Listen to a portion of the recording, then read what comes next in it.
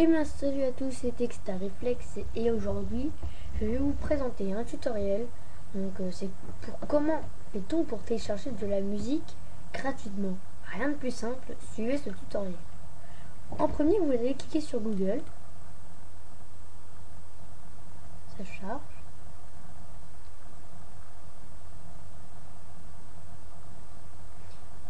Et vous allez cliquer sur YouTube, juste ici. Ensuite, vous allez aller sur Nouvel onglet et là, vous allez taper Convertisseur YouTube.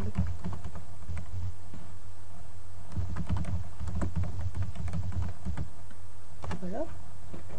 Euh, moi, je prends le premier hein, parce que après c'est comme vous voulez, mais lui est plus facile.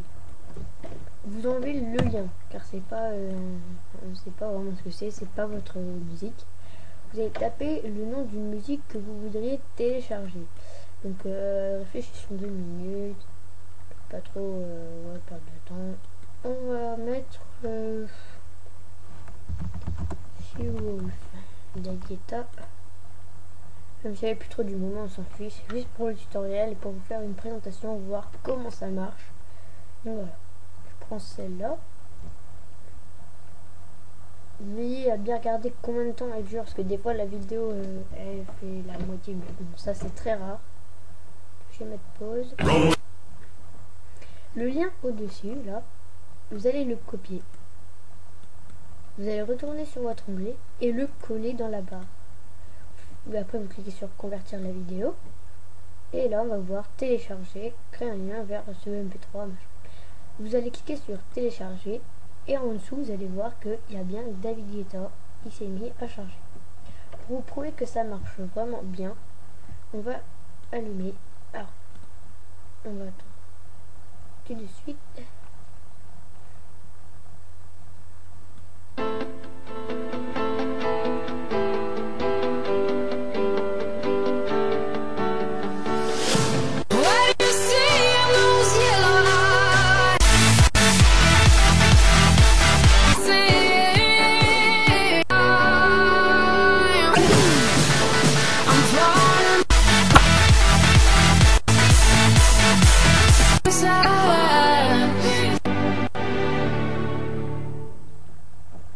Voilà, donc euh, tout marche bien. On voit bien qu'elle dure euh, la durée qu'on avait vue, mais deux secondes, c'était juste euh, un petit truc enlevé.